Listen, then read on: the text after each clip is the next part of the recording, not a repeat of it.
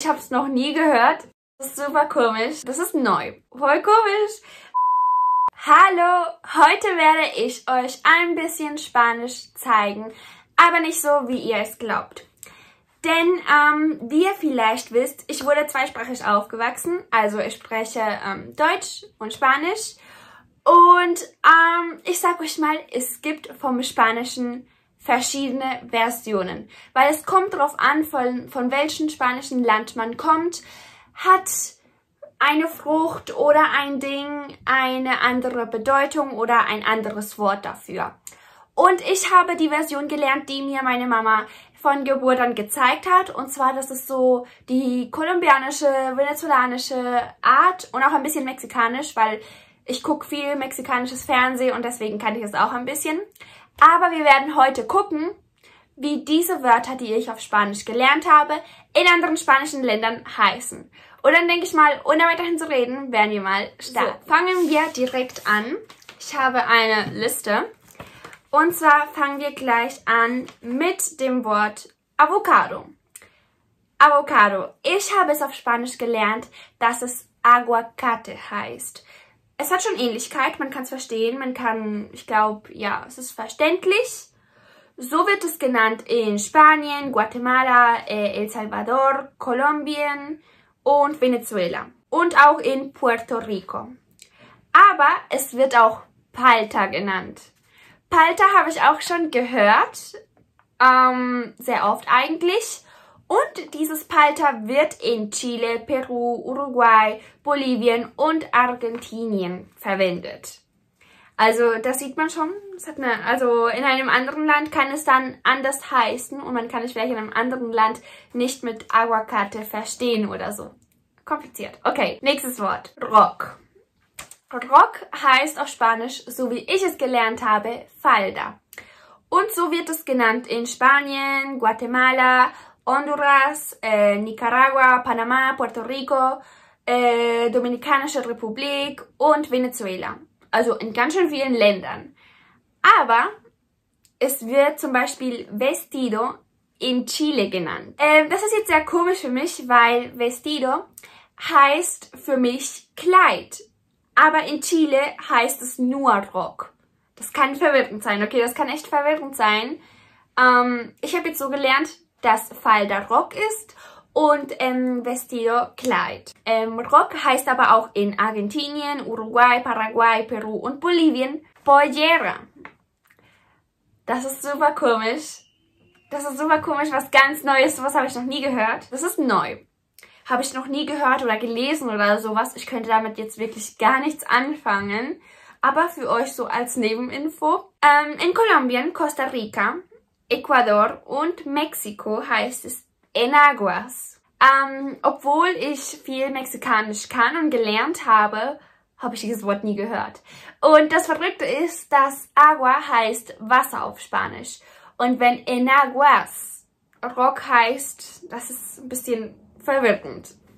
Okay, ein bisschen komisch für mich, sowas zu lernen, weil zum Beispiel, wenn man jetzt zum Beispiel ein Deutsch kann, man kann sein Deutsch, man hat das gelernt und dann merkt man, dass es verschiedene Arten von Deutsch gibt und dass irgendwas was anderes heißt und so weiter. Das ist dann voll verwirrend für einen. Und in Kuba heißt Rock Saya. Das klingt für mich ein bisschen wie eine Soße. Ich weiß nicht, habe ich auch noch nie gehört. Ähm, kommen wir zum nächsten Wort und zwar Strohhalm. Strohhalm habe ich gelernt, dass es Pitillo heißt. Und Pitillo wird es genannt nur in Kolumbien und Venezuela. So habe ich es erlernt. In Chile und Bolivien heißt Strohhalm Bombilla. Das, ich habe es noch nie gehört heißt es wirklich Bombilla? Ich sag euch, ich habe all diese Informationen vom Internet rausgeholt. Also es kann sein, dass die eine oder, Sa dass die eine oder andere Sache vielleicht doch nicht ganz stimmt. Aber wie es im Internet steht, ähm, wird es in Chile und Bolivien Bombilla genannt. Und daraus kann man eigentlich sowas wie Bombe herausschließen oder so. Voll komisch.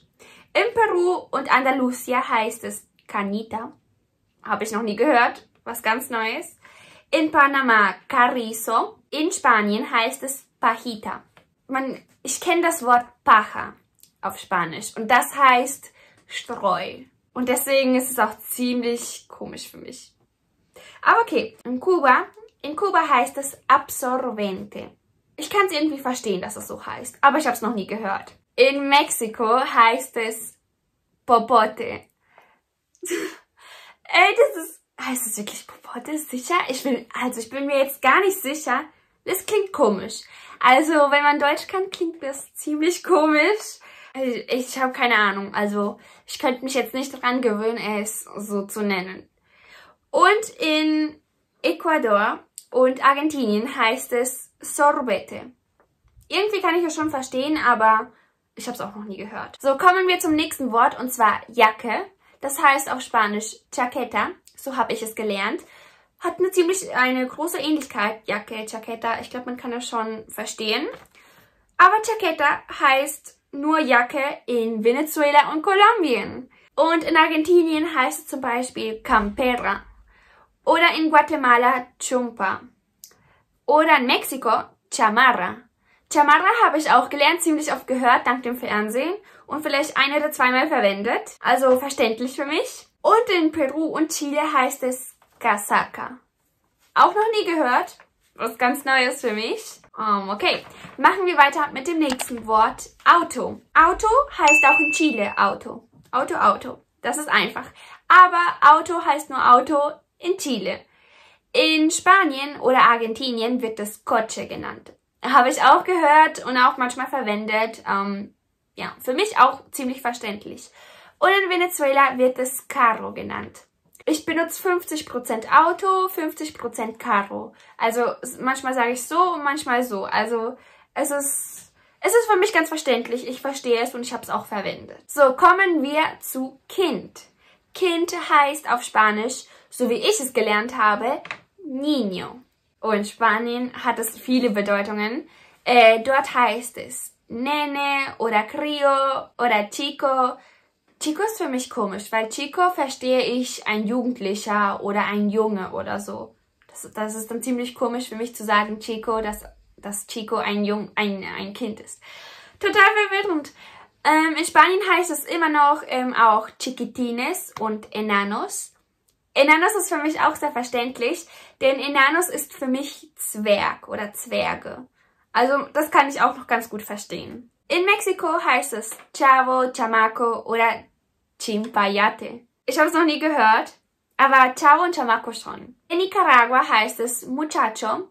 Für mich heißt Muchacho auch ein Junge, ein Jugendlicher. In Venezuela wird es Chamo, Chamito und Carricitos genannt. Okay, ein bisschen komisch. Chamo habe ich auch schon verwendet, kenne ich, habe ich auch öfters benutzt. Aber zum Beispiel Carricitos. Ein langes Wort und ich habe es noch nie gehört. Äh, in Paraguay heißt es Nene, genauso wie in Spanien. In Argentinien Pibe. Noch nie gehört, noch nie gehört. In Kolumbien heißt es Chino. Vielleicht könnt ihr daraus schließen China. China. Äh, das ist für mich ziemlich komisch. Meine Mama hat äh, immer Chino, Chino, Chino gesagt. Ähm, ich habe es so genommen, als wäre es ein Kind, wie ein Begriff für Kind. Aber ich habe nie gedacht, dass es wirklich in Kolumbien auch Kind heißt. Also es ist für mich so komisch, das alles mitzukriegen. In Chile und Ecuador heißt es Guaguas. Ähm, wir haben chilenische Freunde und die sagen es immer, Guaguas, Guaguas. Und dann habe ich mich so dran gewöhnt. Äh, vielleicht vielleicht sage ich das auch irgendwann, so aus Versehen. Ähm, ich kenne es, ich habe es gehört, also von daher verständlich für mich. Und in Panama heißt es Pelaitos. Habe ich auch noch nie gehört, aber es klingt ein bisschen komisch für mich. Also ich, ich, ich, könnte, ich könnte mich jetzt nicht daran gewöhnen, dieses Wort zu benutzen. Ich kenne das Wort pelado und das ist, wenn du eine Glatze hast, also gar kein Haar hier oben auf dem Kopf. Und wenn du dann pelaitos sagst als Kind, das klingt für mich ziemlich komisch, als würdest du sagen, Mensch mit einer Glatze. So klingt das für mich, das ist super komisch. Ähm, ich könnte mich nicht daran gewöhnen, das zu sagen. Das war mir ein bisschen zu komisch. Ähm, kommen wir zum nächsten Wort. Banane. Ähm, Banane heißt auf Spanisch, so wie ich es gelernt habe, Banana. Ziemlich neutral. Ich glaube, wir alle haben schon gehört und können daraus schließen, dass Banana auf Spanisch Banane heißt. In Nicaragua heißt es Banano. Okay, Banane, Banana, Banano. Banano habe ich noch nie gehört. Wusste ich gar nicht, dass es existiert. In Mexiko heißt es Plátano. Das Wort verstehe ich. Ich habe es auch schon gehört. Das Ding ist halt, es gibt die Banane, die normale Frucht und dann gibt es die Banane, die die Kochbanane ist, die man zuerst kocht und dann isst. Und ich habe gelernt, dass die Kochbanane Plátano heißt. Aber in Mexiko und auch in Chile heißt Plátano die normale Banane. Das ist so verwirrend. Ich, ich komme damit nicht klar. Okay, aber verständlich. Okay. In Costa Rica sagt man Banano amarillo. Amarillo heißt gelb. Also so gelbe Banane. Verständlich, ja. In Venezuela heißt es Cambur. Das kommt mir ziemlich bekannt vor. Zu bekannt. Denn als ich ein kleines Kind war, habe ich nur Cambur gesagt. Ich, äh, es ist die einzige Form, die ich, ähm, es ist das einzige, was ich zur Banane gesagt habe, Cambur.